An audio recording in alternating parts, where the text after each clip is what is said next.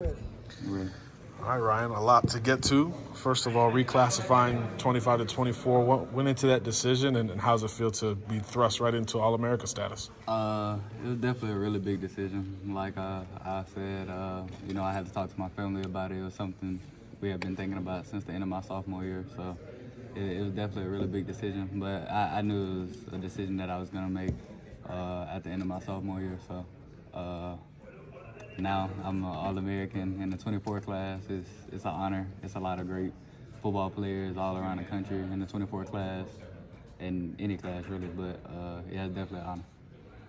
What's your recruitment been like since that news became official? Uh, it's it's sped up a lot, a lot. I've been talking to coaches every day, so yeah.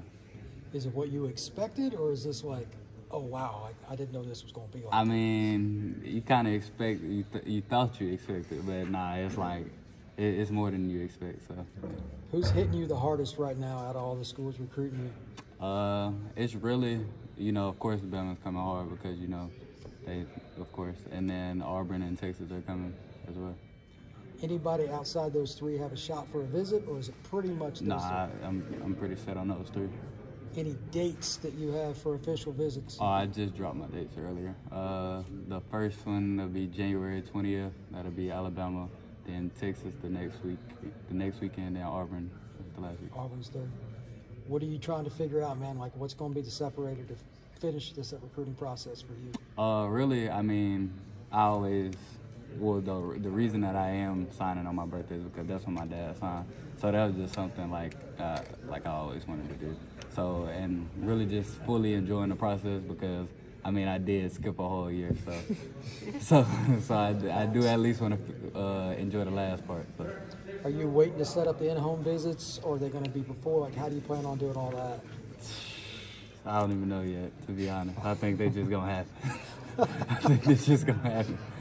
What is what is the communication with Bama been? Uh, no, it's on, it's my birthday. He no. signed on my birthday. When is your birthday? February 9th. February 9th. Yeah. I didn't know this, John. Oh, you good? You good? What's the communication been like with Alabama, reclassifying mm-hmm. and them kind of you know turning up the heat along with these other schools, even though you're you're committed to them? Uh, they've been very understanding with because uh, I mean if I was anybody recruiting me, then I would want I would have wanted me to sign uh, on the 20th. But they've been very understanding, just uh, letting me enjoy my recruiting process to the fullest because I had been said that I wanted to sign on my birthday.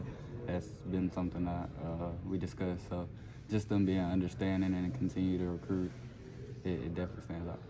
What went into the structure of those OV dates? Because everyone's going to read into it. Bama first, Auburn last. What went into that? I mean, uh, I was sitting in Coach Freeze's office, and he said I called the last visit. So I mean, and then uh, Texas called the second to last. So That's just, how it went. Yeah, it's just how it went. They, you know, so. Ryan, what would it take to uh, to push you off of a Bama commitment that you've had for, for some time, and, and, obviously, like you said, they've respected you know your steps along the process. It would definitely take a lot, because like I said, they've been very understanding my entire process. They were the first to recruit me, and they've never uh, came out the gas. So.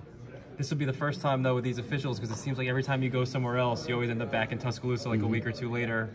Any thought to, to maybe Texas and Auburn getting the last two visits that maybe you won't pick Alabama in the end? Uh, I don't really think so, but I mean, it's it's the recruiting process, so you never really know.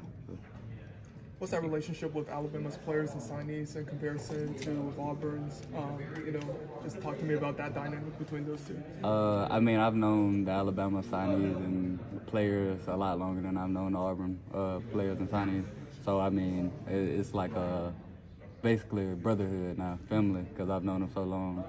Going on to the second year of us like going through the recruiting process together since my freshman year. So. Uh, yeah, I, I, definitely have more of a, I guess you could say, bond with the Alabama players. But I de- I'm, I'm uh, continuing to build one with the Auburn players and Texas players.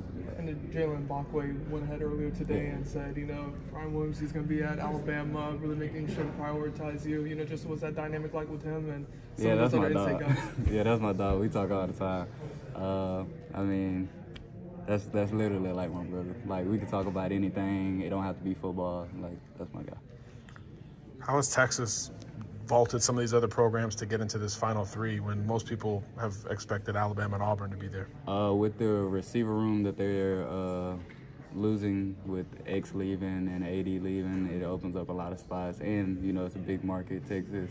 Uh, it's a lot of, uh, and they're a winning program. I mean, so uh, that had, definitely has a lot to do with it. You know, just to see what they have to, to offer on the table. Has anybody talked to you about like playing different positions, or is it just receiver? You know, Uh, we'll figure it out. It's, it's receiver, but it's, it's mostly like just get on the ball. Like uh, however on the field, get on the ball. So Do you have a preference? Like you want to play slot, you want to play outside, or do you care? I just like scoring touchdowns and winning games. What about the Auburn approach? Obviously, most people see like that's the, the top threat to Alabama. Why why do you think that might be the case? Uh, I mean, like everybody said, the legacy. My my dad went there, so I mean, they already they were already in the uh, area. So I mean, that's that's the main threat. I mean, just because my dad went there. So. Were you close at all last week to signing? Like, were you like? Nah, I knew for a fact I wasn't signing. I knew for a fact. I knew for a fact.